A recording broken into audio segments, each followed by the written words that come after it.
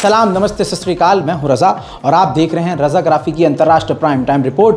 भारत को बड़ी धमकी पाकिस्तान ने दी है।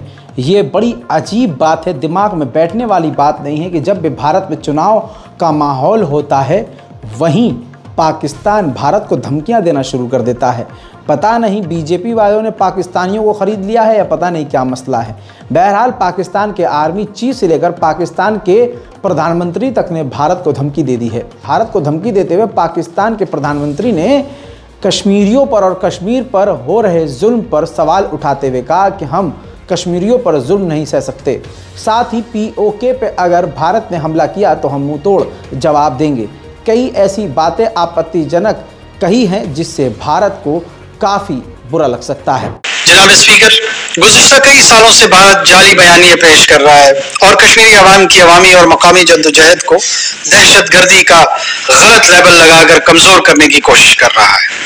ये लोगों की छवि को दागदार करने की इंतहाई शर्मनाक कोशिश है, जो अपने हकूक के लिए बहादुरी से खड़े हुए हैं। दहशत गर्दी और अवाम की जद्दोजहद आज़ादी में वाज फ़र्क है। दहशत गर्दी एक आलमी मसला है और इसका सबसे ज़्यादा खौफनाक पहलू उस वक्त होता है जब इसके irतकब कोई रियासत करती है। हम भारत की तरफ़ से कश्मीरियों के खिलाफ रियासती दहशत गर्दी का मुशाह कर रहे हैं। कश्मीर में वाहिद दहशत गर्द भारत है। जनाब स्पीकर भारतीय क्यादत आज़ाद जम्मू कश्मीर और गिलगित बल्तिस्तान पर भी दावा कर रही है। मैं आज के दिन फिर से ये बिल्कुल वाजे करना चाहता हूँ कि हम पुरअमन बकाए बहामी पर यकीन रखते हैं। हम ज़्यादा से ज़्यादा तमुल का मुजाहरा कर रहे हैं। हम तनाज़ा नहीं चाहते। ताहम, हमारे पास हमला करने की सूरत में ज़बरदस्ती और मौसर तरीके से जवाब देने की क़वत और सलाहियत है। भारत इस हवाले से हमें कई बार आजमा चुका है और अगर दोबारा कोई ख्वाहिश है तो सरम बचश में हम उसके लिए तैयार हैं। मगर आपको बता दूँ कि पाकिस्तान के जो सेनापति हैं, उन्होंने भी भारत को धमकी दी है। कहा कि अगर भारत ने अगर पीओके पर, यानी पाकिस्तान ऑक्यूपाइड कश्मीर के एरिया में हमला किया तो हम जवाबी कार्रवाई करेंगे। ज़रा सा भी हेजिटेट नहीं होंगे। ये बात उन्होंने बिल्कुल भारत के करीब बॉर्डर पर एलओसी के करीब आकर पाकिस्तान ऑक्यूपाइड कश्मीर के इलाके में कही है। मेरे दोस्तों, समुद्री इंटरनेशनल वाटर में भारत के कई सारे मछुआरे फंस गए थे, उनकी नाव खराब हो गई थी। पाकिस्तान की नौसेना ने उनकी जान बचाई है। उधर मेरे दोस्तों, पाकिस्तान में भी चुनाव का माहौल है। खैबर पख्तूनख्वा के इलाके में चुनाव से ठीक पहले बड़ा धमाका हुआ, जिसमें कहा जा रहा है 10 से 15 सिपाही पाकिस्तान के मारे गए हैं और 30 आतंकवादी भी क्रॉस फायरिंग में मारे गए हैं। उधर भारत से खुन्नस मालदीव की ख़त्म ही नहीं हो रही है।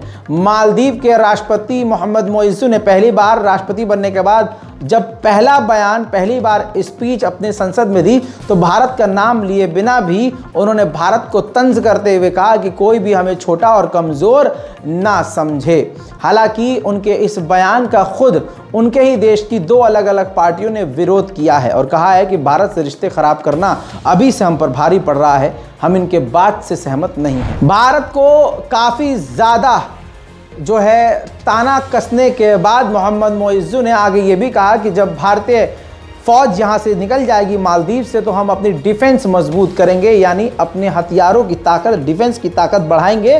साथ में भारत को चढ़ाने के लिए मोहम्मद मोइज़ू ने यह भी कह दिया है कि हम चाइना के फ्री ट्रेड को सपोर्ट करते हैं। उधर श्रीलंका ने भी भारत को तगड़ा झटका देते हुए भारत के 23 मछुआरों को गिरफ़्तार कर लिया। ये कहते हुए कि हमारे समुद्र के इलाके में आ गए थे। वहीं भारत की डिफेंस कंपनी सरकारी डीआरडीओ ने एक और ज़बरदस्त मिसाइल का सफल परीक्षण कर लिया है।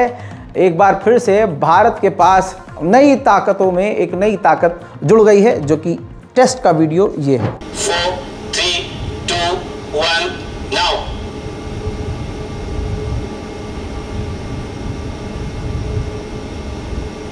मेरे दोस्तों उधर इंडिया के हाई कमीशन ने कनाडा से साफ़ सीधी बात कह दी है कि अगर कनाडा हमसे कोई जानकारी शेयर नहीं करेगा तो हम भी अपनी कोई भी जानकारी साझा कनाडा से नहीं करेंगे। साफ़ सीधी बात शॉर्ट में यह है कि कनाडा और भारत के रिश्ते भले ही बीच बीच में बोले जा रहे थे कि ठीक हो रहे हैं, ठीक हो रहे हैं, लेकिन एक खटास जो पैदा हो गई है, वो लगातार बढ़ती जा रही है। भारत के लिए खतरे की बात यह है कि भारतीय इंटेलिजेंस ने जानकारी दी है कि सुसाइड ड्रोन के ज़रिए कश्मीर और जम्मू के इलाके में आतंकवादी हमला कर सकते हैं। चुनाव का माहौल है मेरे दोस्तों, सतर्क और सावधान रहने की ज़रूरत है। भारत में मुसलमानों को तो परेशान किया ही जा रहा है और कोई आतंकवादी संगठन नहीं कर रहे हैं। हाँ आतंकवादी संगठन जैसे करने वाले काम ही ये लोग कर रहे हैं, जिसमें वो मुसलमानों को मार रहे हैं, मुफ्ती साहब को गिरफ़्तार कर रहे हैं, मुसलमानों को गिरफ़्तार करते हुए उनको जेल में डाल रहे हैं, मुसलमानों के ऊपर केस किया जा रहा है, हमारी मसाजिदों को गिराया जा रहा है, मदरसों को गिराया जा रहा है उसके अलावा हम पर ही केस किया जा रहा है। ये तो बात अलग है, लेकिन चुनाव का माहौल है, कुछ भी हो सकता है तो आतंकवादी भी हमला कर सकते हैं।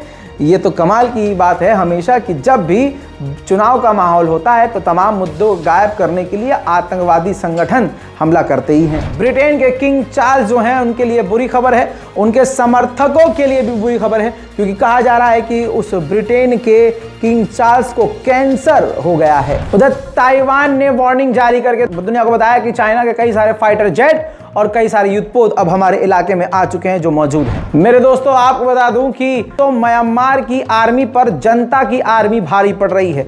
आपको बता दूँ कि जनता की आर्मी की डर की वजह से जो वहाँ की मेन फोर्सेस हैं, वो भाग भाग कर भारत आ रही थी।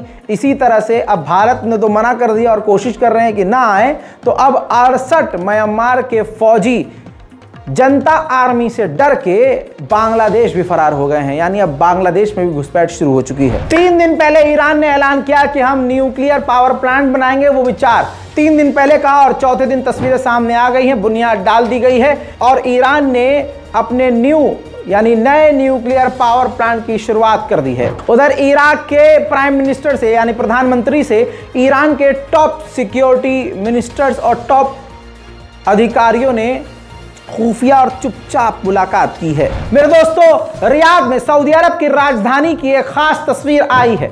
ये दोनों व्यक्ति कोई आम नहीं एक सऊदी अरब के कमांडर हैं, सीनियर कमांडर, और दूसरे हैं ईरान के सीनियर कमांडर। यह तस्वीर अमेरिका, जर्मनी, फ्रांस, ब्रिटेन, पूरे यूरोप और वेस्ट को पेट में दर्द कर देगी। मेरे दोस्तों, आपको बता दूँ, चाइना, ईरान और रशिया, जी हाँ अंतर्राष्ट्रीय वाटर के अंदर खतरनाक ड्रिल करने की तैयारी कर रहे हैं। ऐसा कहा जा रहा है कि जहाँ हुतीस को डराने के लिए लगातार हुतीस और यमन पर हमले हो रहे हैं तो अमेरिका को अपनी ताकत दिखाने के लिए ये तीन देश उसी समुद्र के इलाके में आसपास ड्रिल करने वाले हैं। अमेरिका की लॉकहीड मार्टिन डिफेंस कंपनी ने सऊदी अरब से डील कर ली है, जिसके तहत अब सऊदी अरब में Lockheed Martin air defence system की मिसाइलें और पार्ट सऊदी अरब में ही अमेरिकी कंपनी और सऊदी कंपनी मिलकर बनाएगी। साथ ही साउथ कोरिया और सऊदी अरब ने भी डिफेंस कॉरपोरेशन यानी हथियारों की खरीद फरोख, हथियारों में एक दूसरे का साथ देना, मिलिट्री कॉरपोरेशन तमाम एग्रीमेंट कर लिए हैं। वहीं रशिया ने यूक्रेन के खैरसन के इलाके पर बमबारी करी, जिसमें चार लोगों की मौत हो गई।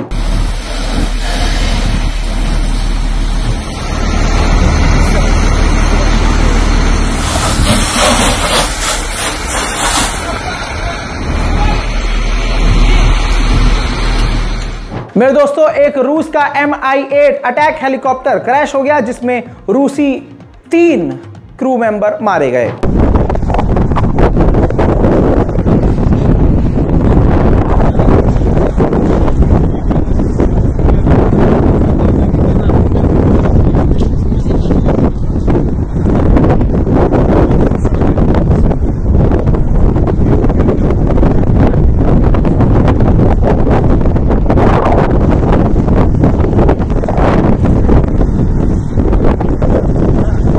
नेटो के चीफ ने ही हवा बनाई, उस हवा के गुब्बारे में खुद ही पिन मार दी।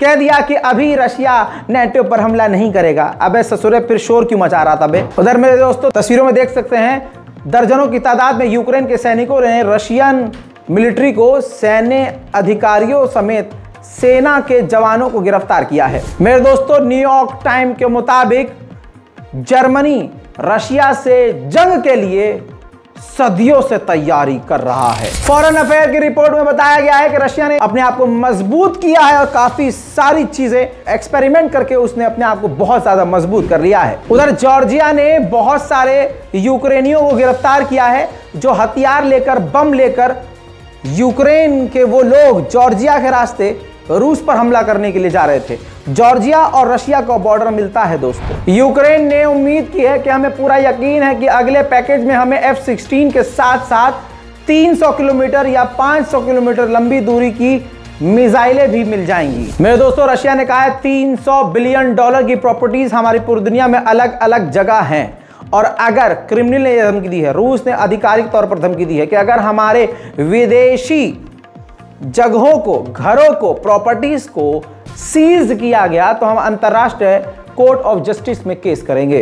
यूक्रेन की मिलिट्री ने, जी हाँ इंटेलिजेंस ने कई सारे वैगनर ग्रुप को गिरफ़्तार किया सूडान में और उनसे पूछताछ भी की और उसका वीडियो भी जारी कर दिया।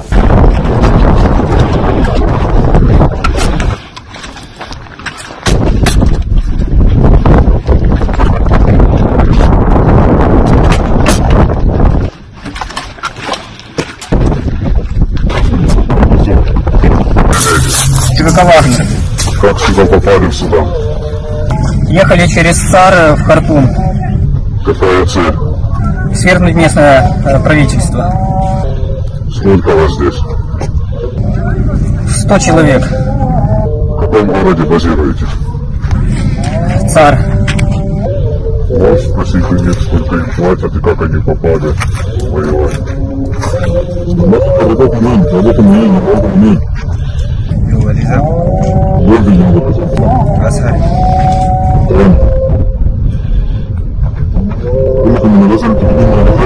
सऊदी अरब में डिफेंस शो हो रहा है, जिसमें पूरी दुनिया अपने हथियारों को दिखा रही है। रशिया ने उसी सऊदी अरब में अपना Sukhoi S U seventy five अब तक का सबसे टॉप और सबसे खतरनाक फाइटर जेट दिखाया है, जिसने पूरी दुनिया में तहलका मचा दिया है। अंतर्राष्ट्रीय प्राइम टाइम रिपोर्ट में आज और अभी के लिए इतना ही। चैनल को सब्सक्राइब कर लीजिए, मैं हूँ रजा, और आप देख रहे थे रजाग्राफी जय हिंद।